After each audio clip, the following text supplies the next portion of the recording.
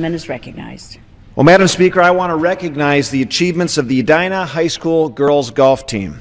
This talented group of young ladies recently demonstrated extreme passion and dedication and intensity in a commanding win in this year's Minnesota State High School Golf Tournament. The Edina girls team should be proud not only for being named winners of this year's tournament, but also for having the lowest overall score in state tournament history.